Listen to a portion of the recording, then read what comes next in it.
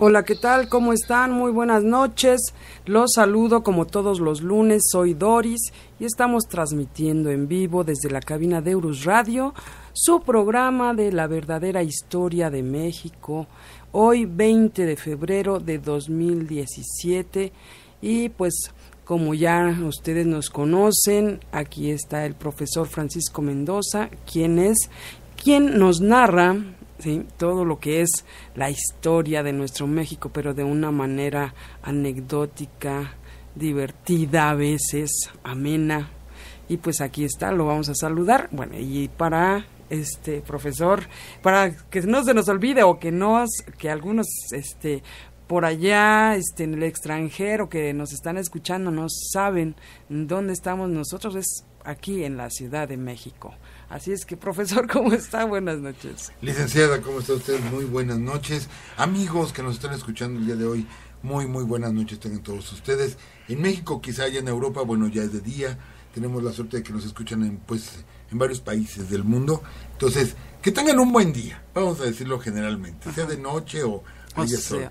así, así es, profesor. Pues bueno, vamos a continuar con este tema de la música en México. Y pues antes de cederle el micrófono al profesor, vamos a dar algunos mensajitos que nos han llegado eh, en YouTube. Está un mensaje de Rodrigo Chávez que dice saludos Lick Doris y Prof Mendoza. Gracias, gracias por sus narraciones. El capítulo de la música mexicana estuvo buenísimo. No me los pierdo por nada. Soy de León y por favor avisen cuándo es la guía a la Ciudad de México para hacer lo posible en asistir.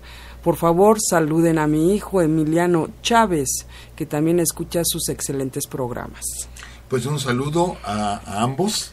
Sí, y gracias. Y sí, estamos en eso porque no queremos que sea algo, algo informal.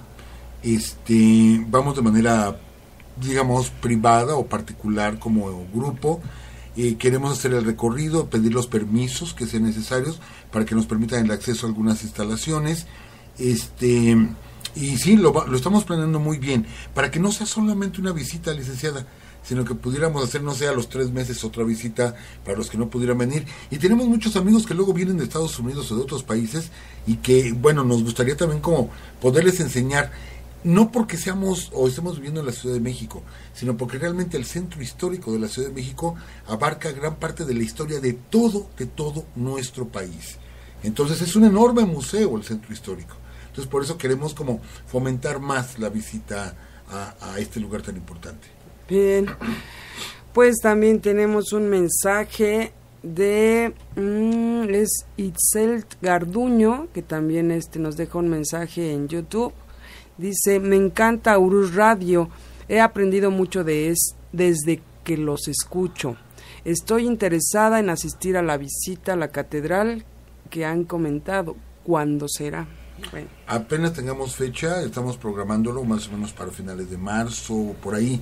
Estamos programando. Nosotros los vamos a, a mantener este, enterados para nosotros de veras va a ser un honor conocer a muchos de ustedes, o sea, conocernos todos, ¿no? Este, y sobre todo que hay algo que es el, el común denominador, que todos amamos nuestro país y nuestra historia. Sí, claro que sí, profesor. Y también hay un mensaje de Dial Podcast que nos deja un mensaje en nuestro, en nuestro muro de Spreaker. Dice, también considérenme para el paseo. En mi caso seríamos de tres a cuatro asistentes y si fuera en sábado o domingo sería fabuloso.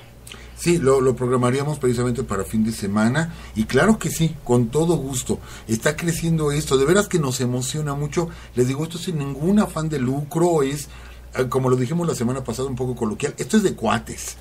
¿sí? Esto es de cuates, vamos a juntarnos, vamos a reunirnos, nos vamos a conocer, este, recorremos centro histórico, los lugares más importantes y nos despedimos con mucho gusto y enviando saludos a todos. Sí, pues ya eh, con la novedad, profesor, que ya pues está llenando la lista. Estábamos pensando que fueran alrededor de 20 personas, pues para estar más o menos cómodos en las explicaciones del profesor. Entonces ya quedan como unos dos lugares, así es que ya quien diga, sí, por favor, Sote, mándenos mensaje. y pues aquí los esperamos. Eh, Jesús León Castro manda también un mensaje en este Spreaker, dice, existe todavía la existe todavía las transmisiones en vivo, pues claro que sí, Jesús, aquí estamos todos los lunes a las 10 de la noche. Y pues profesor, ¿qué le parece si ya empezamos con el tema? Licenciada, sí, pues se quedó eh, con el apuro, ¿no? Siempre del tiempo, siempre, siempre del tiempo. Y estábamos platicando de esas anécdotas del gran maestro este eh, Julián Carrillo y del sonido 13. Este, ah, bueno, están llegando algunos mensajes. Dice Atlante, ¿verdad? Licenciada. Sí, así es, pero dice Atlante noventas, sí. Dice, primera vez que los escucho en vivo, felicidades, me gusta el programa, los podcasts los he escuchado. Y también Adriel López dice, buenas noches profesor y profesora. Pues buenas noches. Pues qué gusto, qué gusto que estén aquí con nosotros. Y decíamos, este, pusimos un, pequeño fragmento de lo que es el, el, sonido 13 de Julián Carrillo. Y déjenme decirle, lo tengo que confesar, que después del programa... No, no, lo confiese, profesor, no. pensó lo mismo, pensó lo mismo, este... Eh, la licenciada que yo. Es, es, es muy fuerte el sonido, o sea, es como estamos tan acostumbrados a los 12 sonidos clásicos que el sonido 13 es, es difícil, realmente es difícil auditivamente. Eh, nos están proponiendo un, un tema, dice, me gustaría proponer un tema y sería Sí, dígalo, dígalo. Animales salvajes de México, como por ejemplo el quetzal. Sí, pero hablaríamos de eh, animales históricos, por ejemplo el águila, el quetzal, sí, este, el xoloscuincle. Déjenme platicarles, perdón, porque ya tenemos que haber entrado al tema, que nos invitaron a dar una conferencia. Ya les dijimos que ustedes nos invitan con todo gusto, nosotros vamos, no cobramos por las conferencias, vamos nada más que si nos den nuestro transporte y alimentos si es necesario y nosotros vamos a cualquier escuela o institución que nos inviten. Pero, ¿qué creen que nos invitaron a una Expocan? Eh, era, yo no lo me imaginaba. Vamos a estar estos días en algunas escuelas secundarias, hablando de Pancho Villa, de Martín Luis Guzmán, etcétera. Pero nunca nos imaginamos que nos invitaran a una Expocan para que hablemos de la historia del perro mexicano, del Xoloscuincle y sobre todo la parte mitológica del Xoloscuincle. Entonces nos da mucho gusto esta invitación. Algo iba a decir este No, gracias a Adriel López, perdón, a Adriel López, gracias, porque ya no confesó usted lo que lo que yo dije, profesor. Ah, bueno, ah, pues bien, estábamos en Julián Carrillo y, y vamos vamos a entender esta parte porque platicaremos de algunos de nuestros principales músicos y ahorita este la licenciada va a poner un tema que es clásico en la música mexicana, el Sensemaya de el maestro Silvestre Revueltas. No vamos a entrar a la parte de la música popular, que tenemos grandes, muy grandes exponentes en la música popular mexicana, sobre todo a partir de los años 30, de los años 40, en que comienzan a llegar a México los ritmos, digamos, más populares, pero ritmos afroantillanos, nos llega el danzón, nos llega el mambo, donde tenemos grandes exponentes de la música. Estamos hablando más de la música culta, ¿sí? Que creemos nosotros que eh, requiere de mayor estudio, mayor preparación, y un, sentido musical mucho más desarrollado. No, no hacemos a un lado la música popular, hay música popular muy buena y platicaremos un poquito de un músico popular pero que pasa a la parte histórica de México y vamos a platicar en unos minutos de él. Hablamos de la corriente nacionalista y, y aquí, perdón si entro en un tema que es un tanto complicado, es un tanto complejo, la parte del nacionalismo en México. Primero vamos vamos a hablar de revueltas, vamos a hablar de don Pablo Moncayo. Don Pablo Moncayo, que en su formación ya, ya profesional, este, se le pide que rescate música, música popular mexicana, y el señor Moncayo, don Pablo Moncayo, se va a la zona de Veracruz a rescatar los sones jarochos. ¿sí? Rescata toda esta melodía, eh, yo no soy músico profesional, me gusta la música, pero no soy músico profesional, entonces probablemente cometiera yo algunos errores técnicos al expresarme. Eh, les pido una disculpa de antemano, pero bueno, Pablo Moncayo toma los compases, toma los tiempos y hace una creación de este, sones veracruzanos. Y este, se convierte en lo que todos conocemos, pues prácticamente como nuestro segundo himno nacional, el guapango, el famoso guapango de Moncayo, que es grabado, es bellísimo el guapango de Moncayo, es grabado, pero que se queda ahí perdido durante mucho tiempo. Es hasta que tiene auge el guapango como música que identifica la hora nacional. Quizá muchas de las personas que ahorita nos escuchan, que son muy jóvenes, no recuerdan la hora nacional. Yo particularmente tampoco soy como que muy grande, pero tampoco soy un jovencito. Yo sí recuerdo la hora nacional que se sigue transmitiendo, aunque nadie le escucha. Pero es una hora los domingos a las 10 de la noche en que todas las estaciones del país, todas se sintonizan. ¿Sí? Este, y comienza la Hora Nacional, un programa producido por la Secretaría de Gobernación, en ocasiones por la Secretaría de Educación Pública, etcétera, de contenido nacionalista. Y la música que se elige es el guapango de Moncayo. Y a partir de ahí, a partir de ahí, cobra mucha fama y mucho auge el guapango de Moncayo. Tanto así que muchos lo consideran nuestro segundo himno nacional, pero realmente es una mezcla de sones jarochos tomados de la parte de la Huasteca, ¿sí? De la parte central y de la parte sur del estado de Veracruz. El estado de Veracruz es quien nos otorga con su música precisamente este hermoso guapango de Moncayo. Y nos gustaría hablar de algunos músicos. A ver, e, esta parte sí, eh, vamos a entrar un poquito lo complicado. ¿Qué pasa con el nacionalismo en México? La corriente nacionalista en México se da en los años 30 y 40 del siglo pasado es encabezado, digamos, políticamente, o, sea, o se conjuga políticamente con aquella famosa campaña vasconcelista, ¿sí? Eh, por la presidencia de la República, este, donde José Vasconcelos, cuando luchaba por la presidencia, repartía libros, aunque sus seguidores le decían, ¿para qué repartes libros si la gente no sabe leer?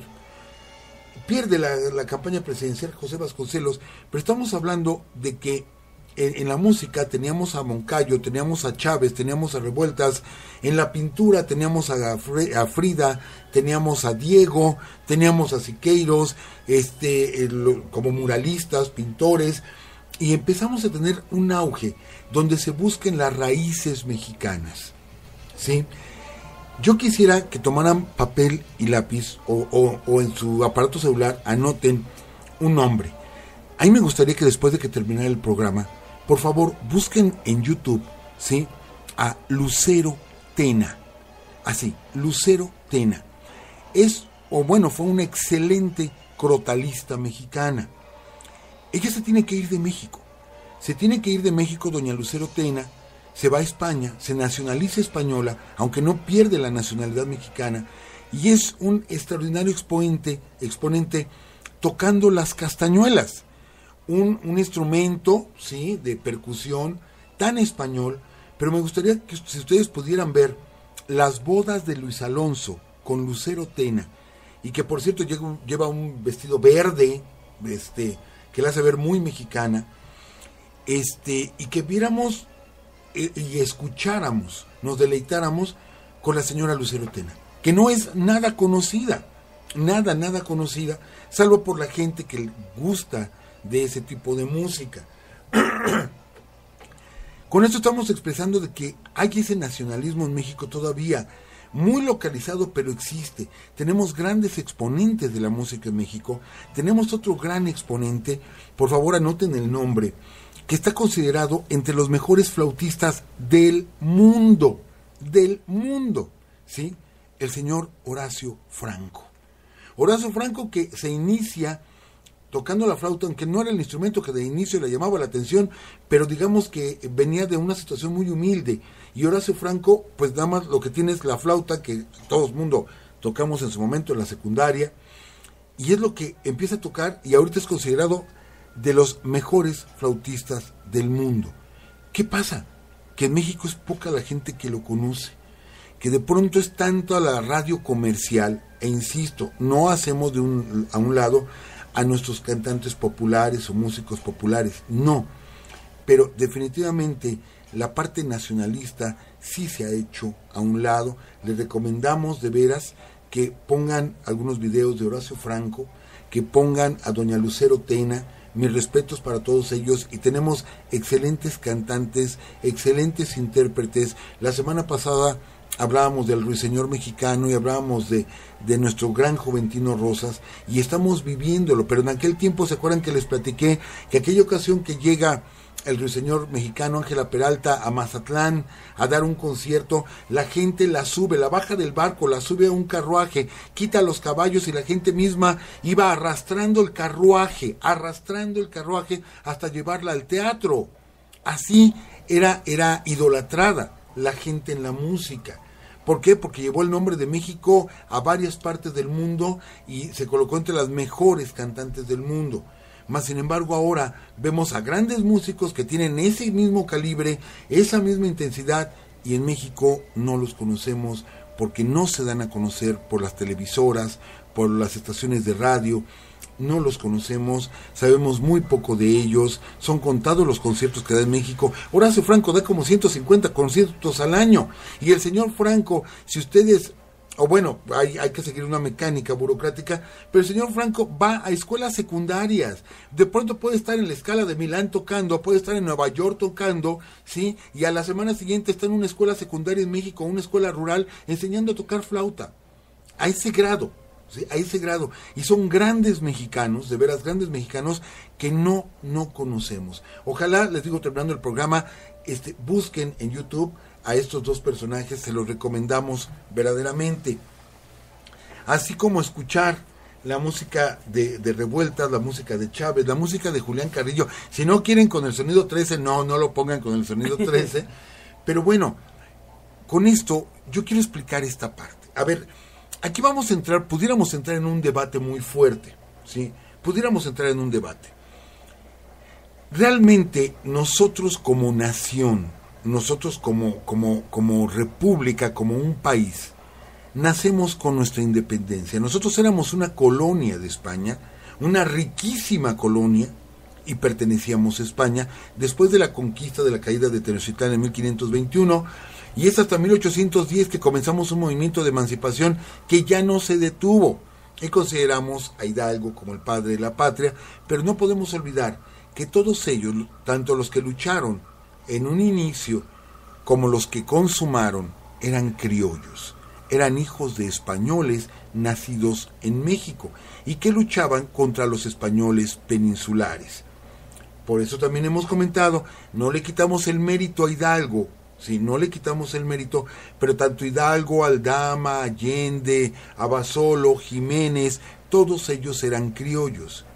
Quien realmente ya tiene una sangre más mexicana porque era mestizo, estamos hablando de José María Morelos, y en la tercera etapa de la lucha por la independencia de Vicente Guerrero, que aunque nos lo quieren poner blanquito, no, él era un mulato, su pelo era completamente chino y era mulato y de hecho los famosos pintos, que era la gente, sus principales soldados de la Sierra de Guerrero, de la costa de Guerrero, eran negros, ¿sí? Eran negros y este... Entonces ellos son los que siguen la lucha de la independencia, pero la independencia la ganan los güeritos. En este caso Iturbide, este, todos ellos, Manuel Gómez Pedraza, etcétera, etcétera, son los que ganan, ganan la independencia y empiezan a gobernar estas personas criollas o después hijos de criollos. Es hasta la presidencia de Benito Juárez, hasta la presidencia de Benito Juárez, donde se empiezan a dar ya gobiernos de gente nacida o mestizo, o en el caso de Juárez y de Porfirio Díaz, con sangre totalmente autóctona. No olvidemos que Juárez era zapoteco y que Porfirio Díaz era mixteco. ¿sí? Antes todos, Santana, eh, todos absolutamente habían sido criollos o hijos de criollos. Cuando México se independiza, el virreinato de la Nueva España abarca 5 millones de kilómetros cuadrados. De hecho, Iturbide, cuando el imperio de Iturbide, perdón, es cuando México como nación ¿sí? en este caso como imperio, tiene más territorio que jamás en la historia. son 5 millones de kilómetros cuadrados.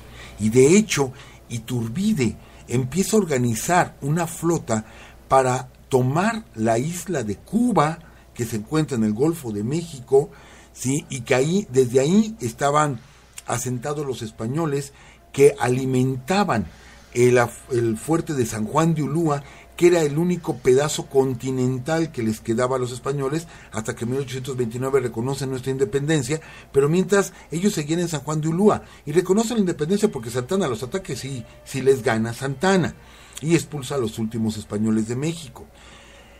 Pero nuestro territorio es enorme. Es más, inclusive como parte del virreinato de la Nueva España, fíjense bien, ¿eh? parte del virreinato de la Nueva España se consideraba las Islas Filipinas que de ahí venía la famosa nao de la China. Traía productos chinos y por eso lo decían nao de la China, aunque realmente venía de las Filipinas, de Manila. La isla de Guam, que actualmente es una base norteamericana en el Pacífico, pertenecía al virreinato de la Nueva España.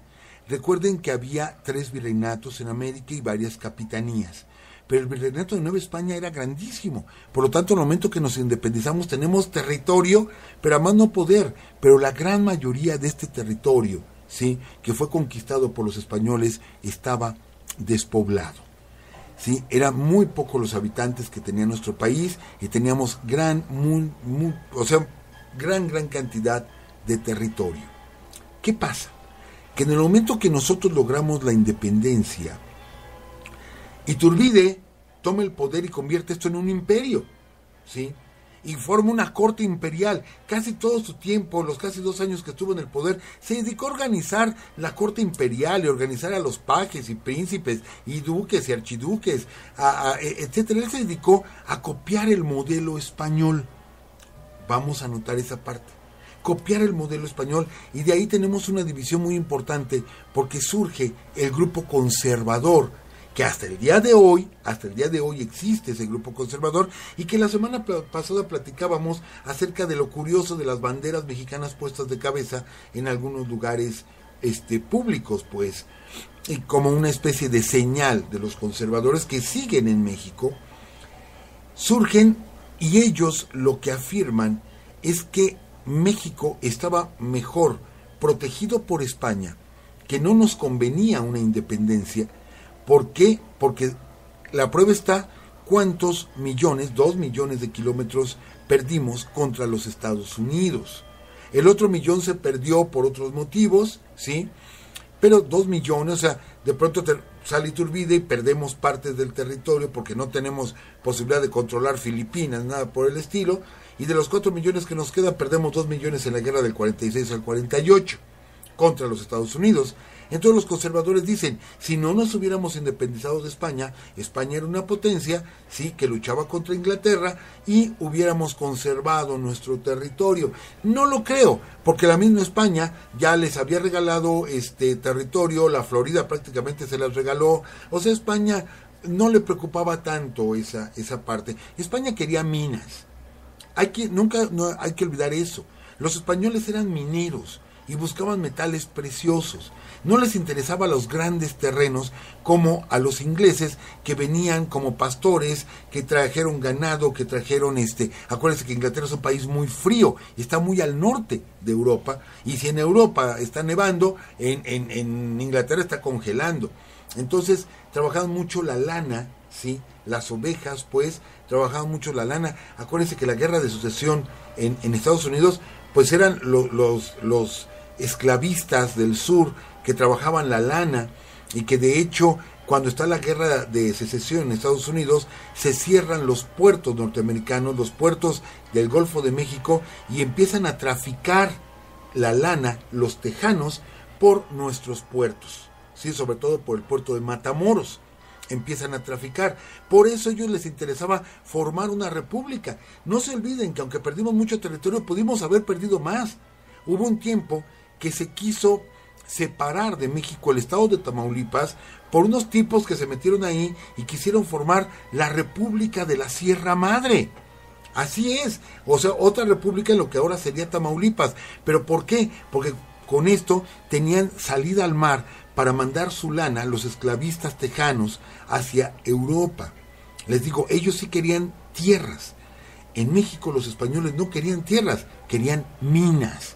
Por eso en México tenemos tantas ciudades mineras, Zacatecas, Tasco, Guanajuato, eh, San Luis Potosí, tenemos la ruta de la plata que venía desde todas estas minas hacia la Ciudad de México. Entonces tenemos una concepción distinta.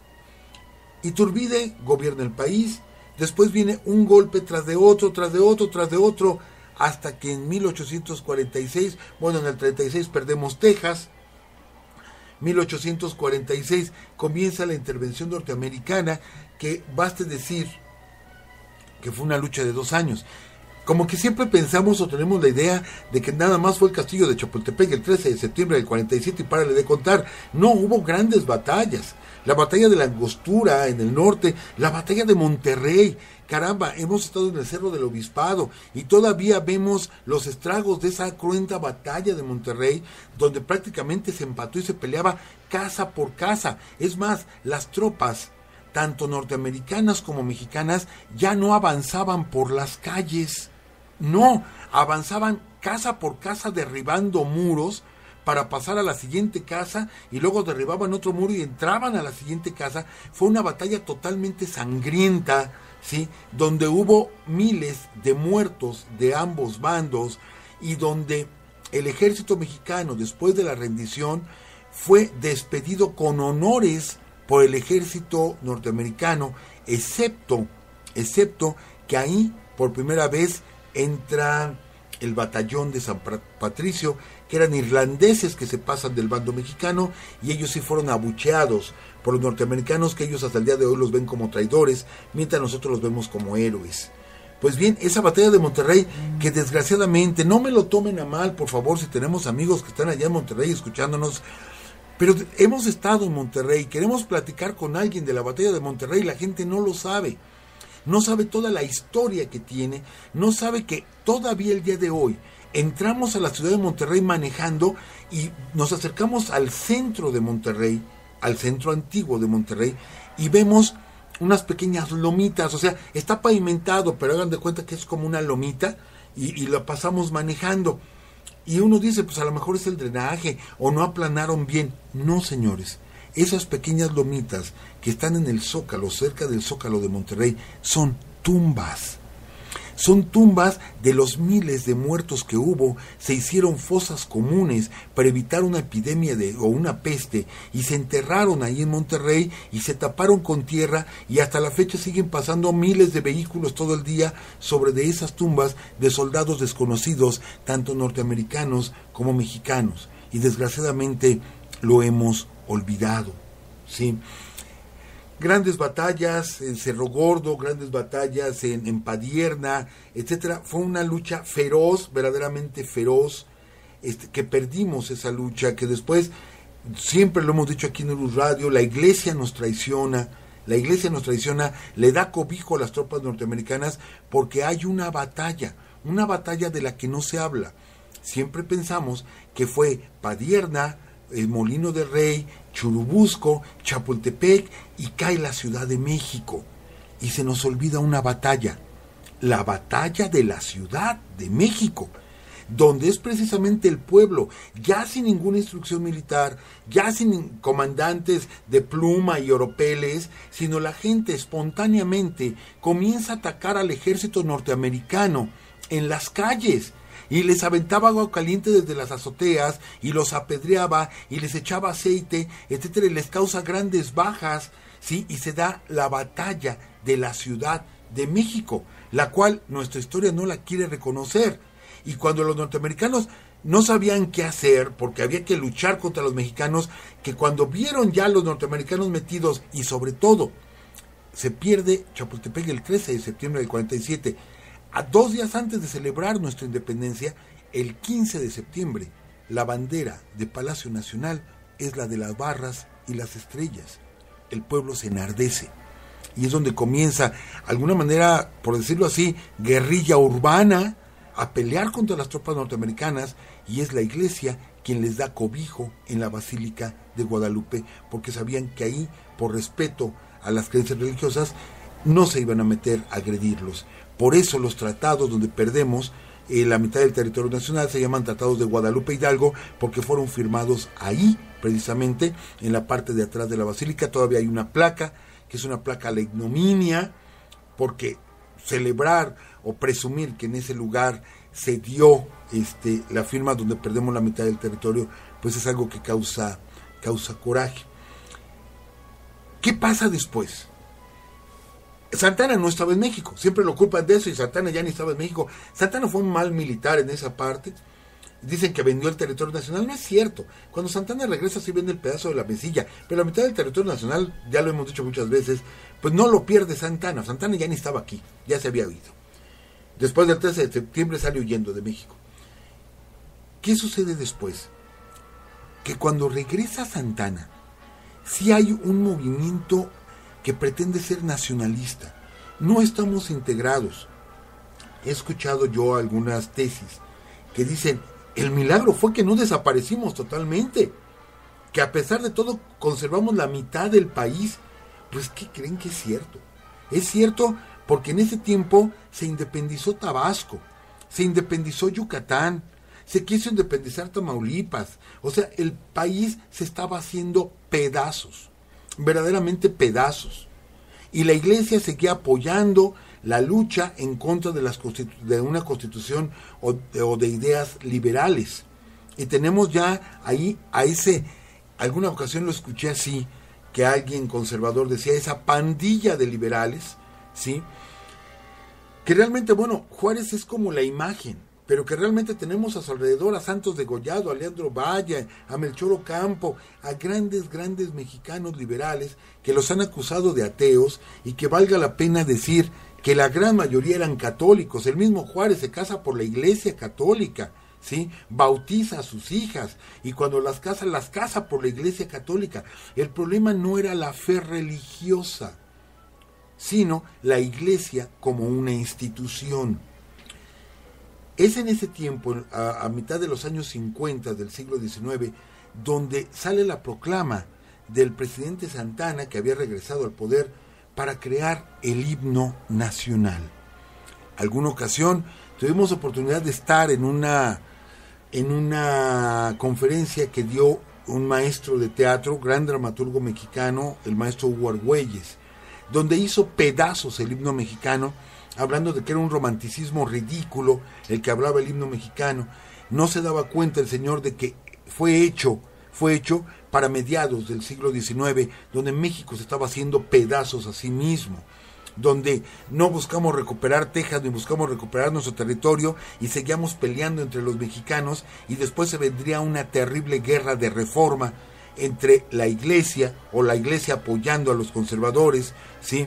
y poniendo en la presidencia a Miguel Miramón, un gran, gran militar que pelea en, en, en, Chapultepec y es herido, es uno de los niños héroes, por así decirlo, y la corriente liberal, ¿sí? la corriente que estaba hasta la coronilla de todo el poder que tenía la iglesia en México y de que no había un registro civil y de que los panteones formaban parte de la iglesia y los colegios y la educación y que aparte ellos habían entregado la nación y se convierte en una guerra de la que poco se habla, la guerra de reforma, que es ganada por Juárez, ¿sí? y su gente. Pero los conservadores no se quedan en paz, no pierden a gusto, ahora sí que este si pierdo arrebato y se van a Europa y nos traen a los franceses y nos traen una invasión, ¿sí? y nos ponen un emperador extranjero. Que valga la pena, aquí lo hemos platicado mucho, la parte de Maximiliano, de que no era un mal hombre, no era como tal un mal hombre, pero comete errores y el primer error es venirse a mandar en un país que sinceramente no lo quería. Dicen que Carlota, cuando llega Maximiliano a México, Maximiliano y ella están esperando la fiesta popular en Veracruz y sabemos que nuestros amigos veracruzanos son fiesteros a más no poder. Y nadie se presentó en el puerto a recibirlos y que Carlota se puso a llorar. No se diga cuando llegan a Puebla, porque en Puebla sí hay repiques de campanas. Bueno, no de todas las campanas, porque no olvidemos que muchas de las campanas que el obispo de Puebla, sí, Abadiqueipo, dio la orden de recibir a los invasores con repiques de campana porque venían a defender la religión verdadera, y muchos campaneros, esto es real, ¿eh? muchos campaneros cortaron las cuerdas con las que se tocaban las campanas. Y bueno, esto es, esto es genial, ¿no? Cuando llegan y vienen a México, los campaneros poblanos, y piden hablar con el presidente Juárez. Juárez lo recibe, le llama la atención, ¿a qué vienen los campaneros? Y vienen a entregarle a Juárez las cuerdas, las cuerdas de las campanas. Señor Juárez, es que nos dieron la orden de que tocáramos las campanas de todo Puebla para recibir a los invasores y como, o sea, teníamos que obedecer, pero para no obedecer cortamos las cuerdas y nadie tocó. Eh, hay una ingenuidad, pero hay un nacionalismo en todo esto. Se empieza a amar a nuestro país. Empezamos a querer nuestro país, ¿sí? Es cuando esta gente, estos liberales, muchos de ellos nacidos en México, que vienen de corriente indígena, no se diga Ignacio Manuel Altamirano, no, todos ellos, este, que son grandes, grandes personajes, que son poetas, que son este comerciantes, que no son militares, mas sin embargo se hacen militares en plena lucha de reforma. ¿sí? Estos militares que defienden al país, que luchan contra la intervención francesa, estos militares que le ponen un cerco ¿sí? a la ciudad de Querétaro y que estos militares en su gran mayoría no tienen la carrera militar, que son improvisados, pero que han levantado a toda una nación, como el caso de Porfirio Díaz, que Porfirio Díaz iba a ser abogado, no tenía, él no era militar, pues, ¿sí? Como tenemos a Mariano Escobedo, que aunque él sí, él sí fue militar, pero las proezas de Mariano Escobedo que encabeza al ejército liberal para derrotar a, Maximiliano, es, de veras increíble esa parte de la historia de México, nos empieza a dar identidad, identidad como mexicanos. Después llegaría Porfirio Díaz. Con Porfirio Díaz se empiezan a rescatar gran parte de nuestra identidad. No todo fue malo en Porfirio Díaz. Yo particularmente considero que lo malo de Porfirio Díaz no era él, sino la gente que estaba a su alrededor. Y siempre hemos platicado este, muchas anécdotas. Por ejemplo, el señor Terrazas, cuando en un baile en Palacio Nacional, no, en el castillo de Chapultepec, le preguntan, señor Terrazas, ¿es cierto que usted es de Chihuahua? Y dice, no, Chihuahua es mío. O sea, yo no soy de Chihuahua, Chihuahua es mío. Es más, la lucha de Pancho Villa es contra los Terrazas y los Krill pero no nos platican de los krill. También hay, un, hay una declaración por parte de la División del Norte que casi no se hace pública. Y solamente las gentes más metidas en la historia son los que conocen esa declaración de Villa de luchar contra los terrazas y los krill. ¿Por qué? Porque los krill actualmente siguen siendo políticos y de mucho poder en México. No tenemos una identidad todavía, pero ya hay, ya hay como que un perfil. Todavía no la tenemos de lleno, pero se da un perfil con la época, en la época precisamente de Porfirio Díaz, donde se crea el Museo Nacional, donde se empiezan a recobrar antigüedades, donde se hace, por cierto, catastróficamente, pero bueno, se hizo el intento de, de este, demostrar al mundo la grandeza de Teotihuacán, ¿sí? Donde eh, eh, se comienza a ver nuestros valores y Porfirio Díaz manda eh, una delegación mexicana a las ferias mundiales, sobre todo a la de París, donde se muestra la cultura mexicana. A lo mejor una cultura muy subjetiva, muy, muy de pose, pero a fin de cuentas ya mostramos una identidad como mexicanos. Fíjense bien, estamos hablando de Porfirio Díaz, estamos hablando de 100 años después de que Hidalgo comienza la lucha de independencia que comenzamos a tener algo parecido a una identidad como mexicanos. ¿Qué sucede después? Viene la Revolución Mexicana. Y poco después, cuando termina la revolución, que a mí particularmente, se habla de muchas fechas como terminación de la revolución, yo particularmente creo que la revolución mexicana termina el día de la muerte de Villa, ya había muerto Zapata, pero creo que son los dos grandes caudillos, en el 19 Zapata, en el 23 Villa, yo siento que ahí es donde termina realmente la revolución mexicana, la muerte de estos caudillos populares, ¿sí? Y es donde se da ahora sí el asentamiento, ¿sí? De la cultura mexicana donde nos regresamos, así como fue el renacimiento en Europa, nos regresamos y empezamos a valorar nuestras culturas, a valorar nuestra herencia, pero es una corriente tan fuerte, pero tan fuerte que debió ser callada. Y a pesar de que para ese tiempo tuvimos este, grandes escritores, novelistas, dramaturgos, pintores, músicos cultos como músicos tradicionales, y tenemos este, eh, la época de los tríos, la maravillosa época de los tríos, la mayor, mm, la mejor época de la trova yucateca, por ejemplo. tenemos grandes exponentes de nuestra música, de nuestro folclore, pero que poco a poco se fue perdiendo, perdiendo ante la penetración norteamericana. Empezamos a perder nuestros valores y actualmente pues todo lo vemos hacia el extranjero. Este, yo no, es más, a mí yo soy fanático, aficionado, fanático del rock y me gustan los grupos de rock, pero también me apasiono viendo a doña Lucero Tena y le he visto muchas veces tocar las castañuelas y verla con su vestido verde mexicano y ver al señor Horacio Franco lo he visto muchas veces y me emociona escucharse en Semayá y escuchar a Julián Carrillo, aunque la música del sonido 13 sea tan difícil, pero de veras es parte de nuestra identidad como mexicanos. Perdón, licenciada, que me haya ido por esta parte del nacionalismo mexicano, creo que era importante explicar esta parte para entender por qué nada más nos dedicamos a cierta música y no a toda, no estamos recomendando toda, aunque no hacemos a un lado la música comercial. Pero explicar un tanto el nacionalismo mexicano. Decíamos, iba a ser un tema un poquito complicado. Y bueno, ya estamos preparando el tema para la siguiente, eh, la siguiente semana. ¿Qué le parece, Profesor, pues es muy importante lo que usted está hablando y creo que pues afortunadamente eh, este programa ha llegado a muchas personas y nos hemos dado cuenta que pues de alguna manera se ha sembrado esa semillita de, de querer, de amar un poquito más a, a, nuestro México. Y si cada uno de nosotros hiciera algo por, por, este, por nuestro México, por ser mejores como ciudadanos, por conocer un poquito más de nuestra historia, de verdad que sería un país muy, muy diferente. Eh, pues bueno, ni hablar.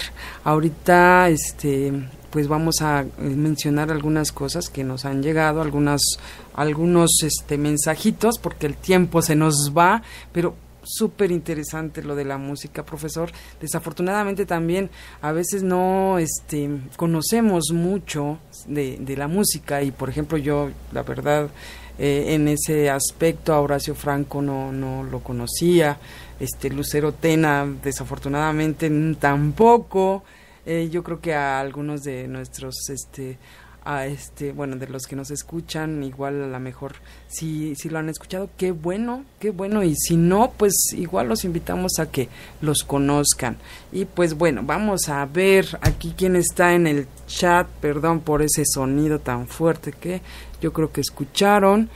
Está por acá Israel Arriaga, dice un placer escucharlos desde México, licenciada Doris y maestro Mendoza, en verdad un placer. Y dice, me voy a perder la reunión con ustedes, pero de todos modos, escucharlos es un gusto. Saludos desde Fuentes del Valle, Estado de México. Pues bueno. Un abrazo muy fuerte para él. Pues ni hablar, no coincidimos en fechas. Y está también por acá José Luis Vázquez Campos, dice saludos profesor y licenciada, excelente tema. También por acá está Félix Montaut, dice presente, escuchándolos en vivo.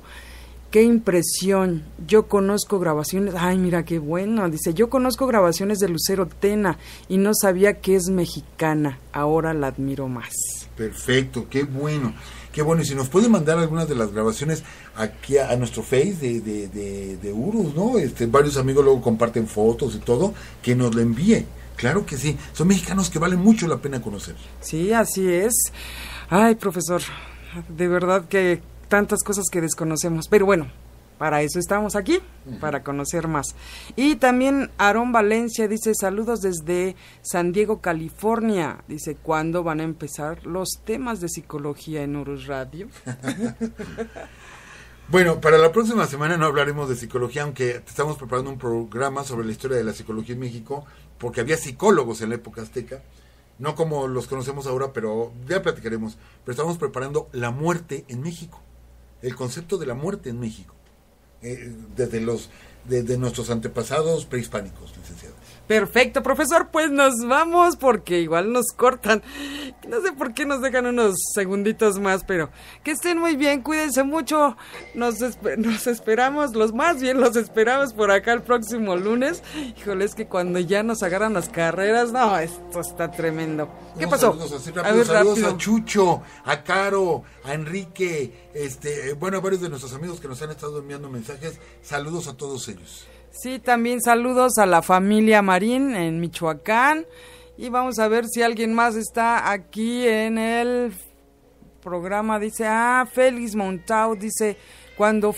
¿Qué dice, profesor? Qué impresión, yo conozco grabación. Ah, es el de Lucero Tena. Cuando fui director de la escuela donde yo trabajaba, el Centro de Educación Artística CEDAR, Frida Kahlo, tuvimos la presencia del maestro Horacio Franco. Confirma lo que decimos, él va a cualquier escuela. Perfecto, muy bien, pues... Cuídense, que estén muy bien y gracias por esa aportación. Hasta luego.